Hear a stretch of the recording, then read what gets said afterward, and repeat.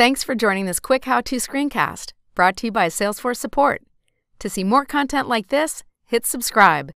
Today, I'll be walking you through one of our latest feature releases, which allows marketers to easily create, target, and deploy surveys on their website. While web surveys might typically be handled by a point solution, Interaction Studio's survey capability helps further streamline your MarTech stack and provides business users the ability to not only capture consumer feedback and insight, but to also target surveys based on the full breadth and depth of data stored within the unified customer profile. Survey responses can be referenced and leveraged in real time to further personalize the customer experience in session. So to build a survey, which is part of Interaction Studio's premium edition, you'd simply navigate to the surveys tab within the left-hand navigation of the platform. When you click into this tab, it'll bring up a list of all surveys that you currently have built. So if I double click into my survey, this is going to open up the survey editor interface. In this area is where I'll be able to determine what questions I want to ask that user. I have a set of different out of the box options available to me, single input, checkbox, radio group, drop down, comment, rating. If you want to have a little bit more of an advanced survey, you can even choose an HTML type to actually customize the, the logic behind that question.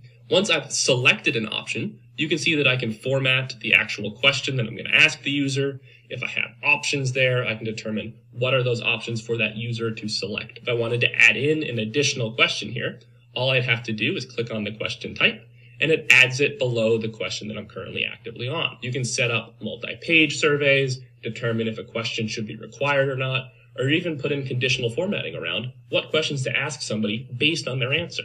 All of this information is then made available to you to actually leverage within a campaign. So if I close out of the survey, I've now created that survey that I want to use in my web campaign.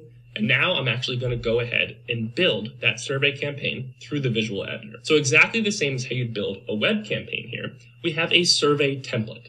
So as that business user, I'm going to go ahead and click on that new campaign button. I can then go ahead and select that survey template.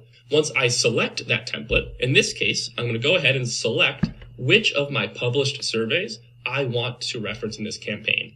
In this case, I have it as that nice pop-up. This can be configured in terms of how you want that survey to render on the page, that I can go ahead and test out that functionality. So if I click on seven, that's going to be my rating. And then I have some of that conditional formatting to say, what are the inputs that I then want to hear from that individual customer? And all of this is then stored against that customer's profile to allow us to leverage it for real-time feedback as well as real-time campaign targeting. But we're also actually storing any response against that unified customer profile. So you'll see here on that user profile, we have a survey responses tab.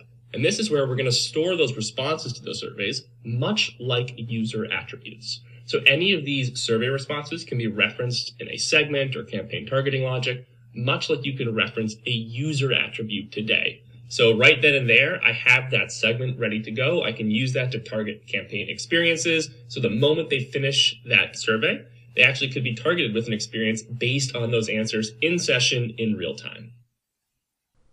For more information, check out help.salesforce.com or join us on the trail at trailblazer.salesforce.com.